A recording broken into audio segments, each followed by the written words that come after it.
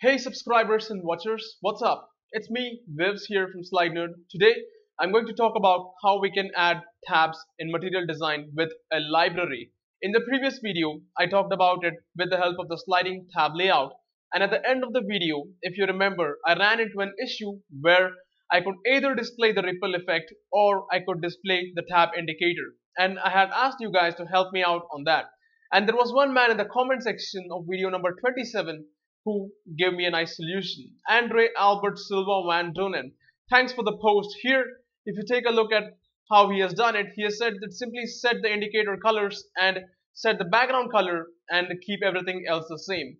Also modify the ripple file a bit, otherwise it won't work.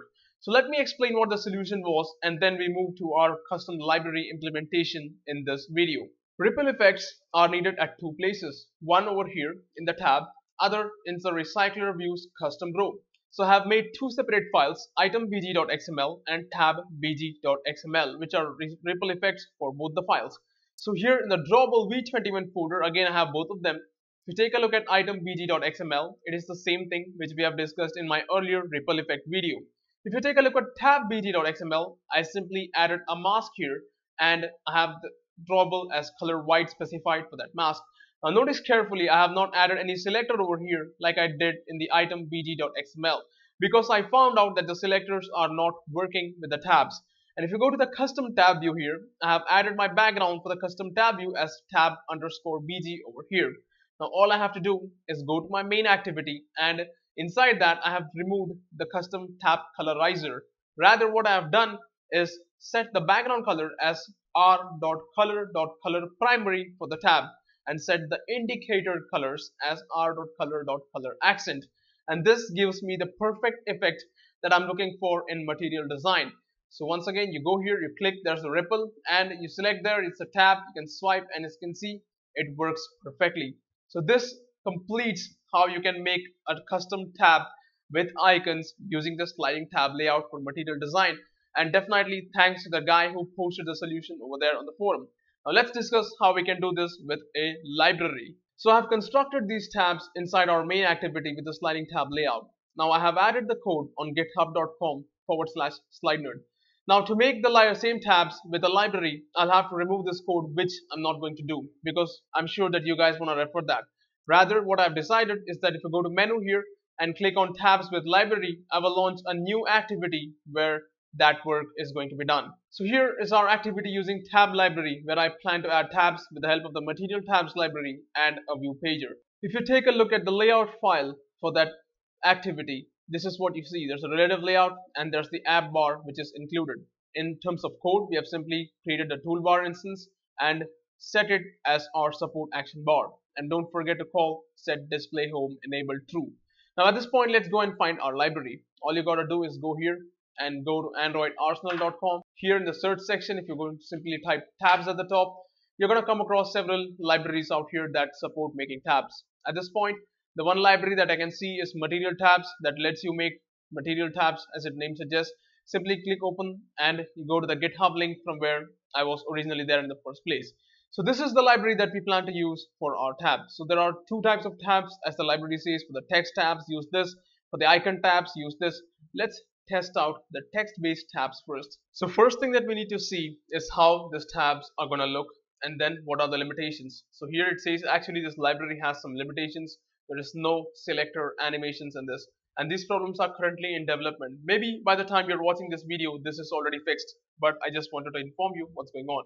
So these are the tabs that we have. There are fixed tabs one, two, three. If it goes more than that they become scrollable. So this is how it looks which is pretty close to what we achieved with the sliding tab layout. If you go down further, you can see these are the scrollable tabs that the person is talking about. So now let's take a look at how we can add the compile time dependency for this library. All you gotta do is go here, go down to your build.gradle file. Inside the dependencies list, simply add our new dependency for neokree tabs and let's rebuild the project. All is good and the Gradle build has successfully finished here. So let's go ahead and add the code for the textual tabs. So all you got to do is take this part for the textual tabs here where it says your primary color, your text color. Let's customize those things later.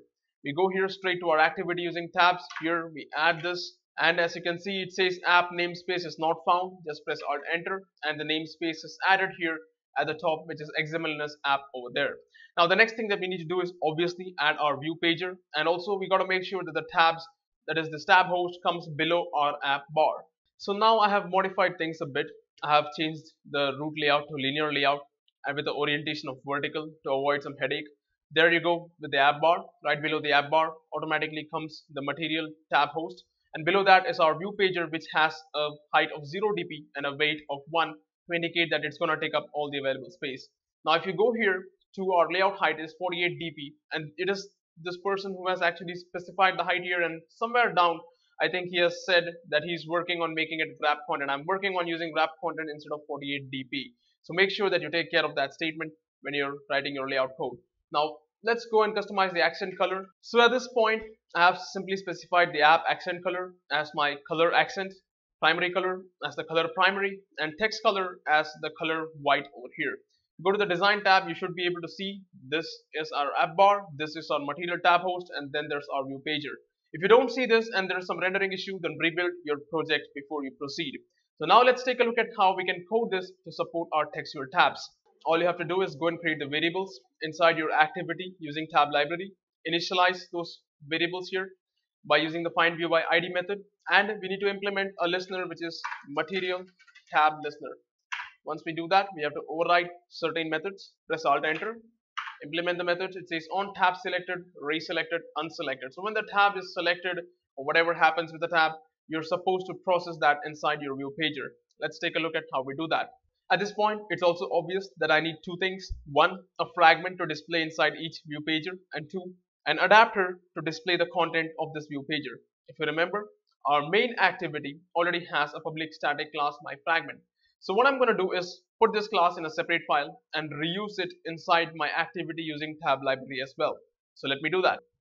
The next thing I need inside my other activity is the fragment state pager adapters object so that I can get the right page for the right position.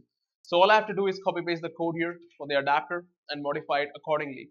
Now remember you have to import this. It says import class. We go here again we have to import the fragment manager as well. Make sure that it is Android support v4 app fragment manager.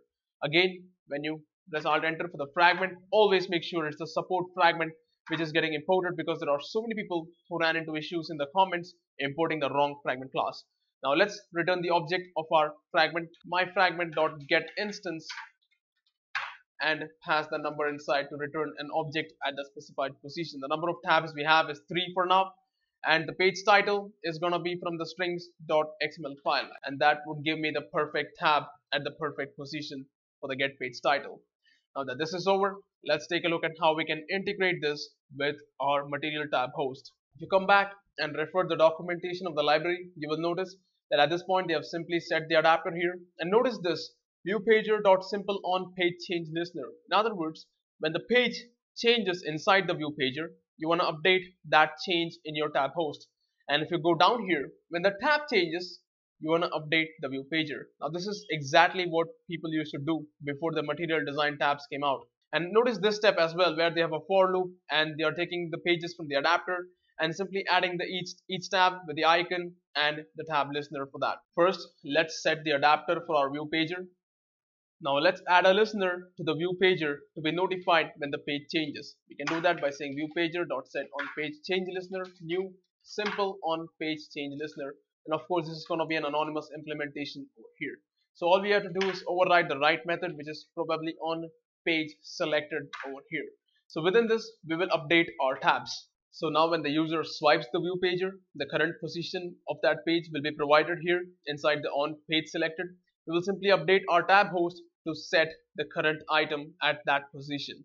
Now we go down and we do the reverse as well. That is when a tab is selected from the tab host, we want to update our view pager to scroll to that page. We can do that by saying view pager dot set current item material tab dot get position. Now the only step that we need to do is add all the tabs or pages to our tab host. So now we write a for loop. We loop all over the adapter's number of pages that it has.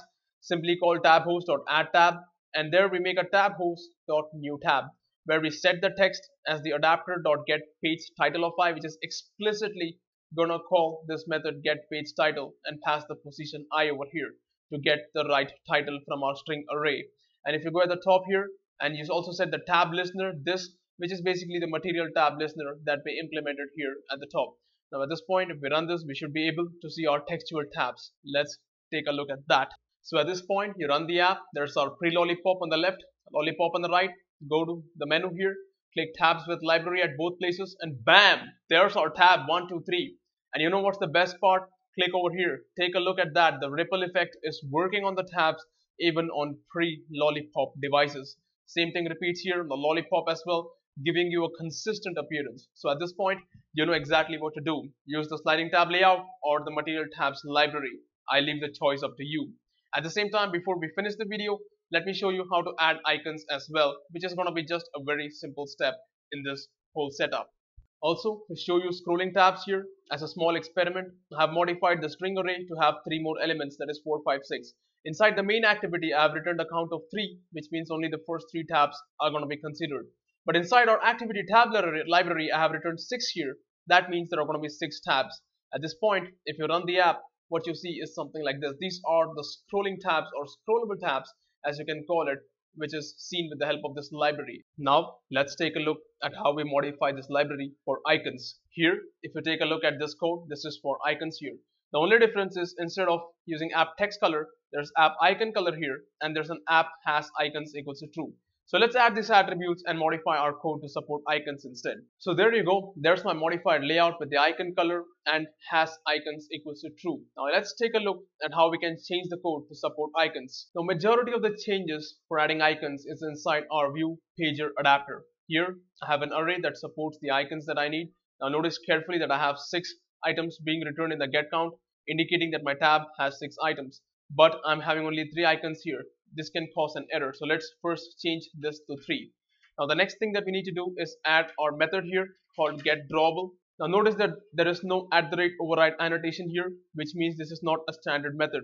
All I have to simply do is say get resources dot get the drawable out of that and notice that I have not made any changes to the get page title as well because even though this returns the title we don't plan on using it. Now all we have to do is go to the top where we had our adapter being considered for looping over. And here instead of saying set text we are going to say set icon here. There you go set icon.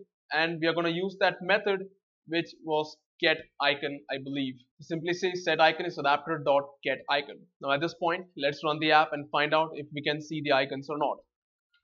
Now when you run it on our lollipop and post pre-lollipop devices here simply go to the menu start the other activity and bam there's our material tab host with icons. Now if you click on that the best part is that the icons are white in color meaning that you can customize the color of them. And the ripple effect is also seen on both lollipop and pre-lollipop devices which makes this library a pretty good library out there. Here is the final case. We have nine icons that are replicated. Thrice each you go down to the get count I have returned nine here to see the effect of scrollable tabs with icons now if you go to our pre-lollipop and our lollipop device, simply launch the next activity and bang, take a look at that. There's our pre-lollipop based scrollable icons with material design tabs and our lollipop based scrollable icons. So this library is perfect for creating tabs which means you don't have to use the sliding tab layout. But this is what my opinion is. What do you think about this? Please let me know in the comments below. In the meantime, if you like what you saw, please like this video, share this video subscribe to slidenerd and let us know your thoughts in the comment boxes below. Thanks for watching. I'll catch you guys in the next video. Have a nice day.